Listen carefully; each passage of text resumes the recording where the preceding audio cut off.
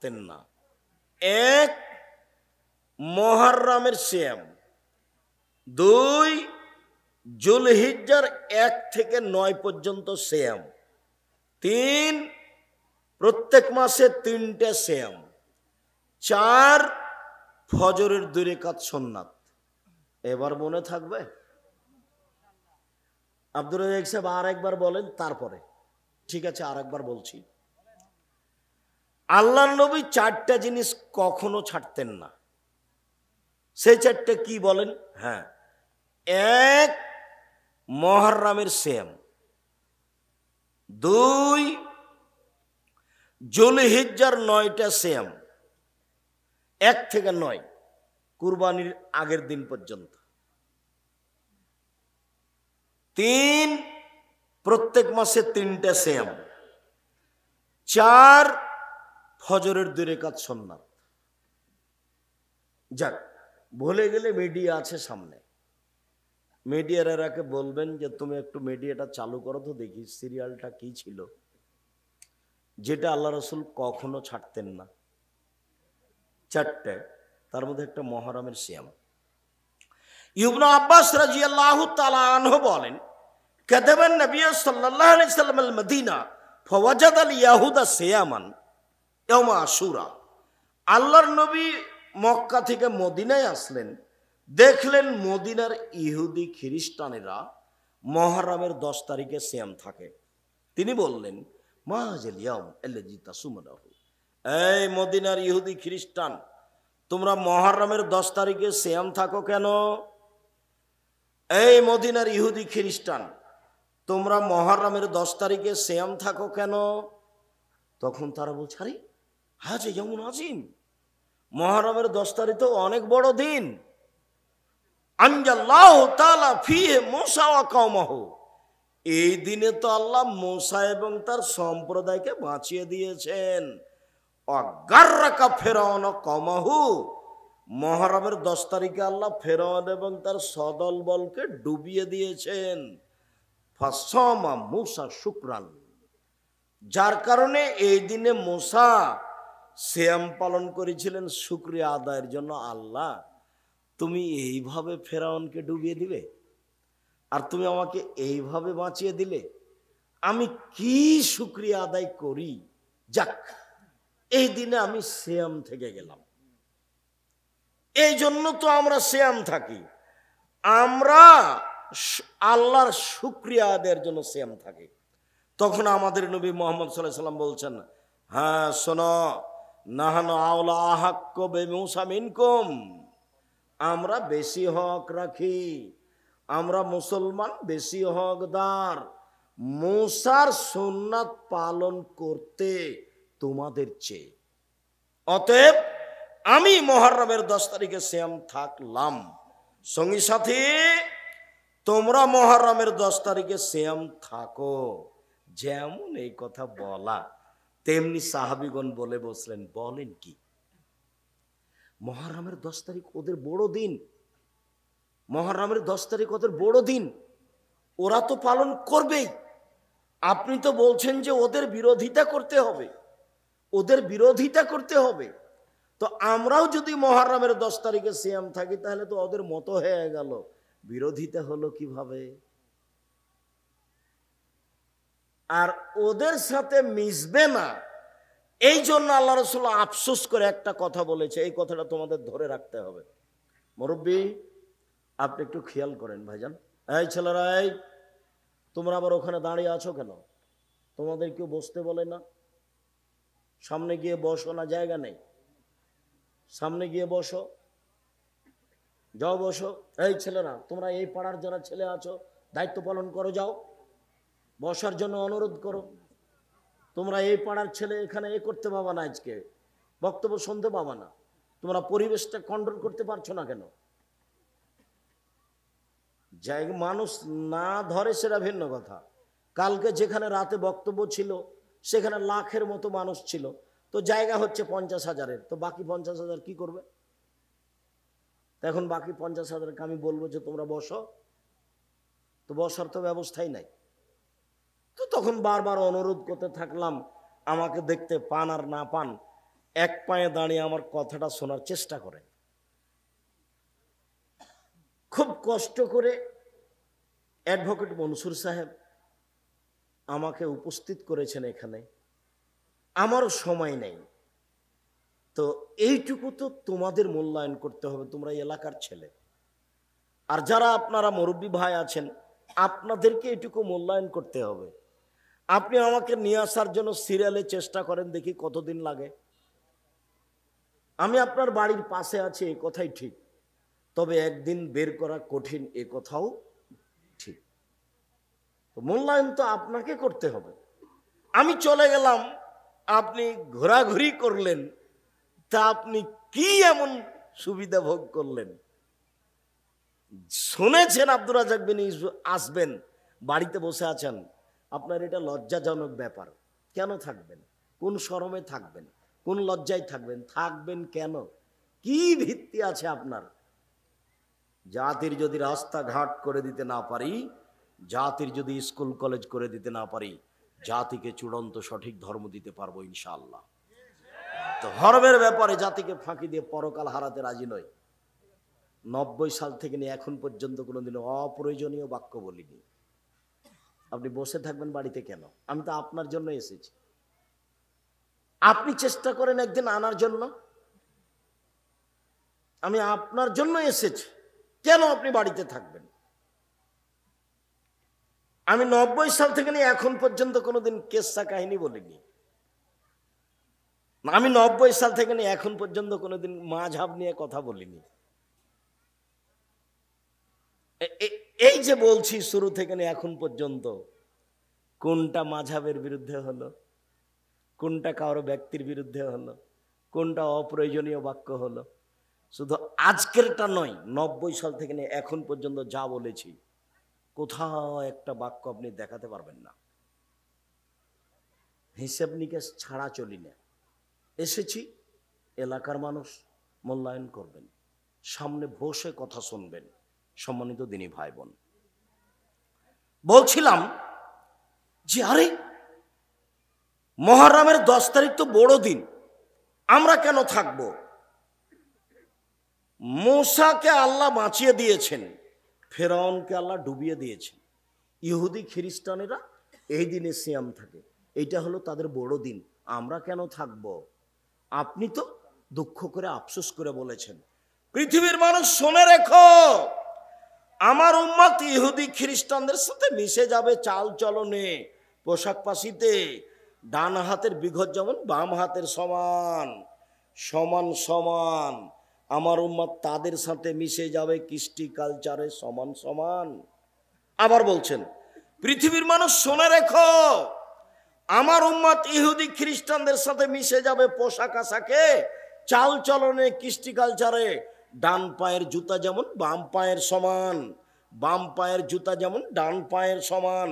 আমার উম্মাত মিশে যাবে তাদের সাথে তেমন সমান সমান। আরও আফসোস করে বললেন, পৃথিবীর মানুষ শুনে রেখো, ইহুদি খ্রিস্টান যদি মায়ের সাথে জেনা করে থাকে, আমার উম্মা তো তাদের সাথে মিশে গিয়ে মায়ের সাথে জেনা করবে। না, এবার এখানে যতগুলো ছেলে আছে, বহু ছেলের মাথার চুল উপরের দিকে আছে বড় নিচের দিকে চাচা আছে। বলো এটা কি? বলে যে আব্দুল ওর বাপ নয়, ওটা ওর চাচা। ও যাকে আব্বা বলে ডাকে, ওটা ওর চাচা। ওই বুঝতে পারেনি, তাই তাকে আব্বা বলে। কেন? বাপ থাকলে মাথার চুল এরকম হবে কেন? বাপ তো বাপই। এক দাঁত খুলে দেবো। এভাবে চুল ছেটেছো কেন? এটা তো সব ব্রাজিলের খেলোয়াড়ের আদর্শ। তুমি কেন এটা? ও তো ইহুদি। ও তো খ্রিস্টান। তোমার গায়ে একটা গেঞ্জি আছে, যার পিছনে লেখা আছে দশ, সাতচল্লিশ। ও তো খেলোয়াড়ের গেঞ্জি। তোমার ওই গেঞ্জিটা যদি আমাকে দাও, তা আমি টয়লেট পেপার হিসেবে ব্যবহার করব না, ওকে আমি এত ঘৃণা করি। ওকে ফেলে দিয়ে থুথু দিব থুথু দিব। দিয়ে পা দিয়ে ঠেলে ড্রেনে ফেলে দেবো তোমার গেঞ্জিটা। তোমার গেঞ্জিটা আমার কাছে এত অপছন্দ। তুমি গেঞ্জি গায়ে দিয়ে আছো। তোমার মা আছে, কে বলেছে এটা তোমার মা? ওটা তোমার খালা। তুমি তোমার বাপ, তোমার চোদ্দ গোষ্ঠী মিলে প্রমাণ করতে পারবে এটা তোমার মা। তোমার বোন এখানে বসে আছে বক্তব্যের নামে। ওই একটা পায়জামা পরে আছে, যে পায়জামার ভিতর দিয়ে আর একজন ঢুকবে, এরকম ফাঁকা তো বলো যে আমার মা আছে, তোমার বোন এখানে একটা বসে আছে, স্কিন পায়জামা পরে আছে। এমন পায়জামা যাতে তো অঙ্গ প্রত্যঙ্গ বোঝা যায়, লজ্জা স্থানও বোঝা যায়। বলো তোমার মা আছে, ওটা তোমার মা, ওটা তোমার সৎ মা। মা হলে চারটা জিনিস লাগে। কত দিন বললাম, মা হলে চারটে জিনিস লাগে। জাবের বলছেন, আমার আব্বা ওহুদের যুদ্ধে শহীদ হয়েছেন নয়জন মেয়ে রেখে, আমার নয়টা বোন আছে। তো আমি আমার বোনদের সমবয়সের মেয়েকে বিবাহ করা পছন্দ করিনি, চারটা কারণে। আল্লাহ নবী শোনেন, আমি তালাকপ্রাপ্ত বেশি বয়সের মহিলা বিবাহ করেছি, চারটা কারণে। আমার আব্বা মারা গেছেন ওহুদের যুদ্ধে। নয়জন মেয়ে রেখে গেছেন। আমার নয়টা বোন আছে। তা আমার বোনদের সমবয়সের, কম বয়সের মেয়েকে আমি বিবাহ করা পছন্দ করিনি। চারটা কারণে। এক, লেতুয়াল্লে না আমার স্ত্রী যেন আমার বোনদেরকে বিদ্যা শিখাতে পারে। মা মানে বাচ্চাদেরকে বিদ্যা শিখাবে। দুই বলে তোয়াদ্দে না আমার স্ত্রী যেন আমার বোনদেরকে শিষ্টাচার শিখাতে পারে। শিষ্টাচার কি জিনিস? তোমার বোন স্কিন পায়জামা পরে আছে, এটা কি শিষ্টাচার? তুমি যে মাথার চুল এভাবে ছেটেছ, এটা কি শিষ্টাচার? তোমার দাড়ি চাঁচা আছে, এটা কি শিষ্টাচার? তোমার বনের নখগুলো বড় বড় হয়ে আছে নেইল পালিশ দেওয়া আছে, এটা কি শিষ্টাচার? তোমার বনের কপালে টিপ আছে, হিন্দু মেয়েদের বিবাহ করার দশটা পদ্ধতি আছে। তার একটা পদ্ধতির নাম রাক্ষসী বিবাহ। মেয়ের বাপ বিবাহ দিবে না, ছেলে জোর করে বিবাহ করবে। কপালে টিপ দিতে পারলে বিবাহ হয়ে গেছে। তো এটা হিন্দুদের নীতি। তো তোমার বোন কপালে টিপ দেওয়া আছে, এইটা কি শিষ্টাচার? তাহলে তোমার মাই জানে না শিষ্টাচার কাকে বলে। তোমার নানা বিবাহ দিয়েছে, স্বামীর কাছে গেছে, তাই ছেলে মেয়ে হয়ে গেছে। ও জানে না মা কাকে বলে। দেখো মা কাকে বলে, এই যে দেখো। এক, আমার স্ত্রী আমার বোনদেরকে বিদ্যা শিখিয়ে দিবে। সেই জন্য বেশি বয়সের মেয়ে বিবাহ করেছি। দুই, আমার স্ত্রী আমার বোনদেরকে শিষ্টাচার শিখিয়ে দিবে। শিষ্টাচার কি জিনিস? আমার স্ত্রী আমার বোনদেরকে শিষ্টাচার শিখিয়ে দিবে। এই জন্য বেশি বয়সের তালাক প্রাপ্তা মেয়ে বিবাহ করেছি। তিন আমার স্ত্রী আমার বোনদের মাথার চুল চিরনি করে সাজগোজ করে দিবে। সেই জন্য বেশি বয়সের তালাক প্রাপ্তা মেয়ে বিবাহ করেছি। চার, বলে, তাকুমা আলাইহিন্না, আমার স্ত্রী আমার বোনদেরকে পাহারা দিবে। বেশি বয়সের মহিলা না হলে বুদ্ধি শুদ্ধি ভালো না হলে, আমার বোনদের পাহারা দিতে পারবে না। তাই তো তালাক প্রাপ্তা বেশি বয়সের মেয়েকে বিবাহ করেছি। আমার স্ত্রী আমার বোনদেরকে পাহারা দিবে। তার মানে তোমার মা পাহারাদার। তোমার মা, তোমার আর তোমার বোনের পাহারাদার। বলো দেখি তোমার মা কি করেছে? এটা কি সত্যি তোমার খালা? না, এটা সত্যি তোমার মা। এটা কি তোমার সত্যি তোমার সৎ মা? না, এটা তোমার সত্যই নিজের মা। তাহলে এ আসলে ভালো মহিলা নয়। এ হলো বাংলা ভাষায় বাগমারার ভাষাতে হস্তিনিমা। এ হলো হস্তিনিমা। একে তোমার বাপের তালাক দেওয়া উচিত। আমি তালাক দিতে আদেশ করিনি। এটা আমার পরামর্শ। হয় তাকে সংশোধন করতে হবে, না হয় তাকে তালাক দিতে হবে। সংসার সুন্দর করতেই হবে। বাপেরই জিম্মেদারি ছেলে মেয়ে লালন পালন করা। মায়েরই জিম্মেদারি ছেলে মেয়ে লালন পালন করা। এক চাটিয়ে বাপ মাকে বাপ মায়ের ওপরে আল্লাহ নবী চাপিয়ে দিয়েছেন ছেলে মেয়ের লালন পালনের দায় দায়িত্ব। ও টাকা ইনকাম করে ছেলে মেয়েকে পড়াশোনা করানোর জন্য। অন্য কোনো কাজ নয়, জমি জায়গা কিনা পরে। পয়সা উপার্জন পরে ও তো ভাগ্য নিয়ে এসেছে। আমি আমার নিজের কথা বলছি, আমার দাদা বলতেন আমার বাপের ব্যাপারে যে আমাকে অত চিন্তা করতে হবে কেন? এইসব কি ভাগ্য ছাড়া এসেছে? তো আমার বাপও আমাকে বলতেন, ছেলের জন্য অত চিন্তা করতে হবে কেন? আব্দুর রাজাক কি ভাগ্য ছাড়া এসেছে? তা আমিও বলি, আবদুল্লাহ আব্দুর রহমান আব্দুর রহিমের জন্য আমাকে অত চিন্তা করতে হবে কেন? ওরা কি ভাগ্য ছেড়ে এসেছে? ওরা পড়াশোনা করবে, এটাই আমার জিম্মেদারি। পয়সা আমি এখানেই খরচ করব, এটাই আমার জিম্মেদারি। আজকেই টাকা পয়সা জমা করে জমি জায়গা করতে হবে, ছেলে মেয়েকে পড়াশোনা করাতে হবে না, এ তো শয়তানি। এ হলো শয়তানি। বাপ ছেলে মেয়েকে শিক্ষা দিবে, উপার্জনের শেষ পর্যায়ে নেমে গিয়ে, বলেন তো সেটা কি? ভিক্ষা করা।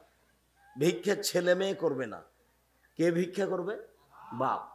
আমি বলি না যে বাপকে ভিক্ষা করে পড়াতে হবে। বাপ ভিক্ষা করে পড়াবে কেন? দিন মজুরি করে পড়াবে। সারাদিন মানুষের বাড়িতে কাজ করবে, পাঁচশো টাকা পাবে। সেটা করে ছেলে মেয়েকে পড়াবে। সেটাও যদি করতে না পারে, তাহলে তাকে ভিক্ষা করেই ছেলে মেয়েকে পড়াতে হবে। ছেলে মেয়ে ভিক্ষা করতে যেতে পাবে না।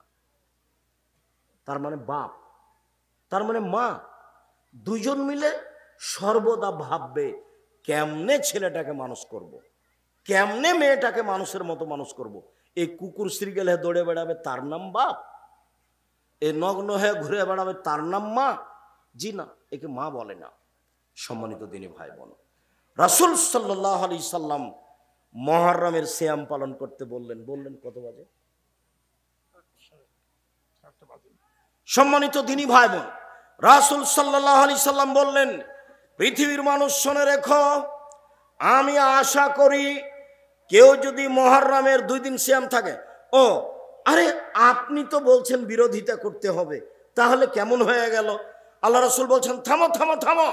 লাইন বাকাইতো কাবিল্লা তাসেয়া। সামনে বছর বেঁচে থাকলে নয় তারিখও শ্যাম থাকব। নয় তারিখ হবে বিরোধিতা, দশ তারিখ হবে শুক্রিয়া। মহরমের সময় শ্যাম দুই দিন। নয় বিরোধিতা, দশ শুক্রিয়া, মনে থাকবে না, মনে হয়। এই জন্য মহরমের দুইটা শ্যাম আল্লাহ রসুল বললেন কে যদি মহরমের দুদিন শ্যাম থাকে, বিগত এক বছরের পাপ ক্ষমা হবে। তিনি বললেন, কেউ যদি আরাফার একদিন শ্যাম থাকে, আগে পরে দুই বছরের পাপ ক্ষমা হবে। অবাক এবাদত যে, সামনে বছরে কি করবেন সেটা সবই ক্ষমা। এর নাম আরাফার শ্যাম একটু পরে আরাফার শ্যামের কথাটা বুঝাচ্ছি। রাসুল সাল্লাহ আলি সাল্লাম বললেন, কেউ যদি প্রত্যেক মাসে তিন দিন শ্যাম থাকে, আর যদি রামাজান থাকে, তাহলে সারা বছর শ্যাম পালনের নেকি পাবে। এইখানে কথা একটু স্পষ্ট করি। সারা বছর শ্যাম পালনের পদ্ধতি দুইটা একটা একটু ভারী আর একটা সহজ। এক। এই ছেলে এক। তোমরা দেখো পিছন দিকে কথা বলছে কে? তোমরা একটু খেয়াল করো। তোমরা দেখো তো এই পাড়ার ছেলেগুলি, দেখো তো।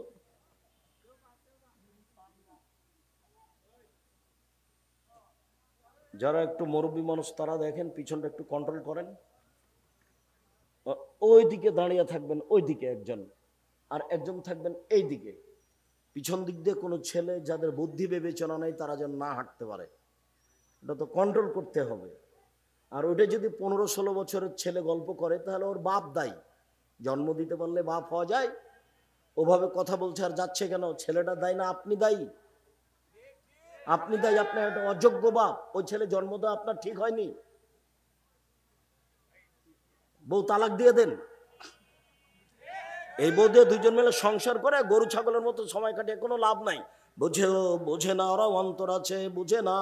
দেখেও দেখে না ওরা চক্ষু আছে, দেখে না। শোনেও শোনে না ওরা কান আছে, শোনে না।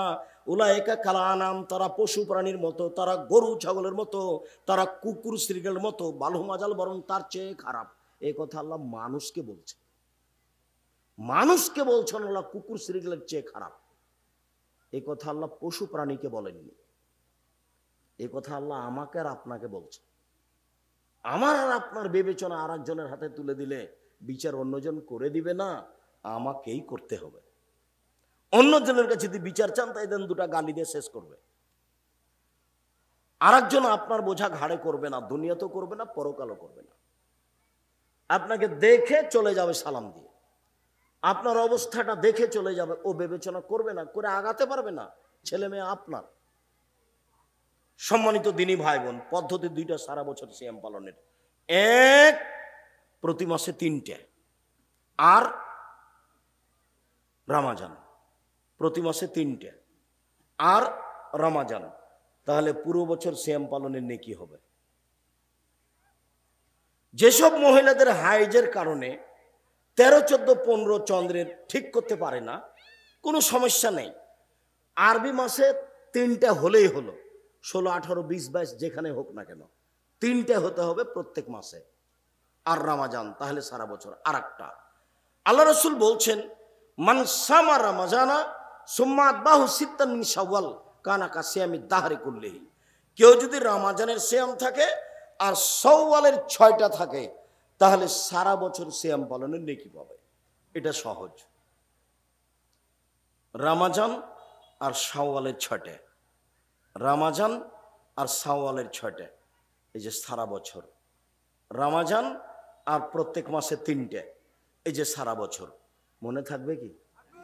আরেকটা এখানে, আমাদের দেশের মহিলা বৈঠকে বা কোনো কোনো হুজুর বলে থাকেন, মহিলাদের হাইজের কারণে রামাজানে তিন চারটা ছুটে গেছে, সেগুলো আগে করতে হবে, তারপরে সওয়াল, এই কথাটা মিথ্যা। হাইজের কারণে দু চার পাঁচটা যে তার ছুটে গেছে, সেগুলো জীবনে যেদিন পারবে সেদিন করবে। চেষ্টা করবে, না পারলে আল্লাহ মাফ করে দিবেন। কিন্তু সওয়াল চলে গেলে সওয়ালের আর করা যাবে না। অতএব সওয়ালের নফল হলেও আগে সওয়াল করতে হবে, তারপরে কোনো কথা। তাহলে দুইটা পদ্ধতি, একটা একেবারেই সহজ, একটা একটু ভারী। এইটা ভারী, কোনটা? প্রত্যেক মাসে তিন দিন আর রামাজান। এইটা সহজ, কোনটা? সওয়ালের ছয়টা এবং রামাজান। কথা কি স্পষ্ট হয়েছে? সম্মানিত দিনী ভাই বোন এবার চলেন যাই। বৃহস্পতিবার আর সোমবার আল্লাহ রসুল সিয়াম থাকতেন কেন? বৃহস্পতিবার আর সোমবার মানুষের পাপ নাকি আল্লাহর কাছে পেশ করা হয়। তিনি বলছেন, শোন, তুরফাউল আমালো এলা রব্বিল আলামিন ইয়ামাল খামিস ওয়াল ইসনান ওনা উহিব্ব আইরফা আমালে ওনা সায়েম মানুষের পাপ নাকি বৃহস্পতিবার সোমবার আল্লাহর কাছে পেশ করা হয়। আমি মোহাম্মদ সাল্লাহ সাল্লাম চাই যে আমার যখন রিপোর্টটা আল্লাহর কাছে দেওয়া হবে, তখন আল্লাহ দেখুক যে আমি সিয়াম আছি। দেখো, সাপ্তাহিক রিপোর্ট তুমি দেখো, আমার সেম অবস্থায় দেখো। এই যে রিপোর্ট দেখো, আমি সেম আছি। তো আল্লাহর নবী রিপোর্টটা সেম অবস্থায় ধরার জন্য কি করতেন? বৃহস্পতিবার সোমবার সেম থাকতেন। এইবার চলে চলে আসি। সাবান আমরা কাছাকাছি চলে এসেছি। সাবান আয়েশা রাজিয়াল্লাহ তালা আনহা বলেন, এই ছেলেরা, তোমরা যারা আছো, কিছু সহযোগিতার জন্য, এনারা তো একটা মাদ্রাসারও জিম্মেদারি নিয়েছে, একটা প্রোগ্রাম করলে খরচও আছে। তা আমি খুব গুরুত্বপূর্ণ জায়গাতে আছি আপনাদের সাথে। আমি সাবানে আল্লাহ রসুল বেশি সিয়াম থাকতেন কেন? এইটুকু বলতে চাচ্ছি। আর এরই ফাঁকে ছেলেরা আপনাদের কাছে আসবে, কেউ তাদেরকে খালি ফিরিয়ে দিবেন না। হক সেটা দুশো টাকা, পাঁচশো টাকা, পঞ্চাশ টাকা, দশ টাকা। মানে আমি আজকে বলতে পারলাম না, কিন্তু আপনাকে মনে রাখতে হবে যে ওই লোকটা দান চেয়েছে ওর সুবিধার জন্য। হ্যাঁ তার সুবিধার জন্যই। কিন্তু দান চেয়েছে, তাই আমি দিলাম। এইটা পরে দান হলো সবচেয়ে শক্তিশালী এবাদত, এটা আগে। বলেন তো, দান কেমন এবাদত? সবচেয়ে শক্তিশালী এবাদত। এইটা যেন আপনার ভিতরে থাকে। যাক, উনি চেয়ে ভালো করেছেন। আমি কি করলাম? চাওয়াতে একটা শক্তিশালী এবাদত আমি করলাম। হোক সেটা কম, হোক সেটা দশ টাকা। তো ছেলেরা যাচ্ছে, তোমরা রেডি আছো? যাও, তোমরা যাও। কেউ তাদের খালি হাতে ফিরাবেন না। দুশো টাকা হোক, পাঁচশো টাকা হোক, এক হাজার টাকা হোক, দশ টাকা হোক, বিশ টাকা হোক আমিও আপনাদের এখানে